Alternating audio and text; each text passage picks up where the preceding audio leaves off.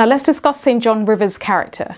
Now in many ways, St. John Rivers is a foil to Mr. Rochester. In other words, he reveals the deficiencies in Mr. Rochester's character, but conversely, Mr. Rochester's character reveals the deficiencies in his character. Now, whilst Mr. Rochester is very fiery, very hot tempered, but also someone who follows his impulses and his feelings, indeed, it's actually his impulses that lead him to do some immoral things that God ultimately punishes him for. St. John Rivers is the complete opposite. He's someone who's extremely austere with himself to the extent that even if he was in love with Miss Oliver, he wanted to marry Jane Eyre because on paper that's what a biblical missionary should do, meaning that they probably would have a very loveless marriage filled with just pure duty. And of course, he tries to get Jane to marry him. Also, they ultimately realize that they are cousins. He tries to get her to marry him, but she ultimately rejects it in terms of the fact that they would really be in a loveless marriage characterized only by duty. And also, she was still in love with Mr. Rochester. Now, as you can see behind me, I've created the quotations that you need to bear in mind when revising for St. John Rivers' character.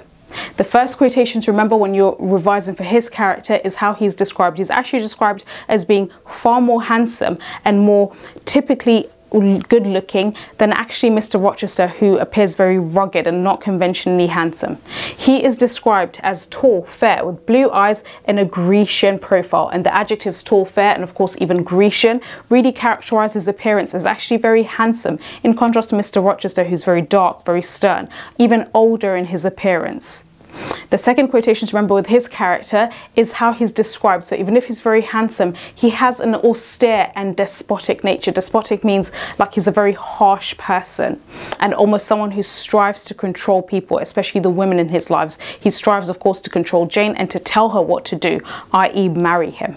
Now, the word level analysis you want to do here is the assonance of a an an, austere, and a nature, okay? And of course, what this emphasizes is how he follows just religious doctrine almost to a fault, and he doesn't do it purely because it's the right thing to do. He does it because that's what he's expected by duty to follow.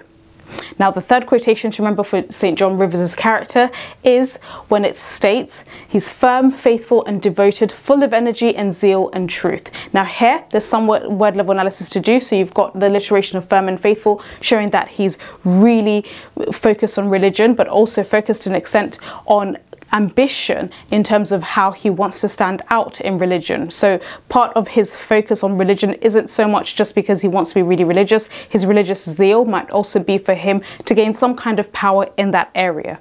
The other key word level analysis to do for this quotation is the listing. So full of energy, comma, and zeal and truth. And this one actually is syndetic listing because there is the um, continuous conjunction and, and, and.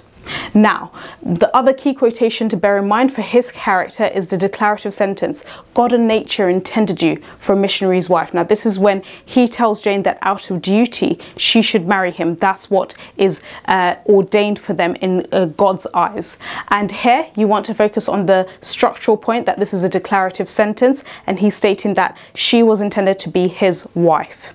Now, the final quotation is when he tries to forcefully get Jane to marry him. He states, You shall be mine, I'll claim you. And of course, he takes a very typical Victorian male attitude towards women, towards seeing women as property. Jane doesn't get a say in whether she wants to marry him. He's the one that's pronounced that they are going to get married. Of course, Jane rallies against this and ultimately rejects this. Now, in this quotation, the word level analysis you want to do is a repetition of you. So, you shall be mine and I shall claim you. And of course, the declarative sentence, mine. And here, again, this emphasizes just how he sees Jane in a very conventional way, which is, of course, in contrast to Mr. Rochester, who sees Jane as someone who is independent and also very much intellectual. And of course, Jane opts for Mr. Rochester, who she genuinely loves more, and whilst she does not love Mr. Rivers. So that's it when it comes to revising for the character of Mr. Rivers.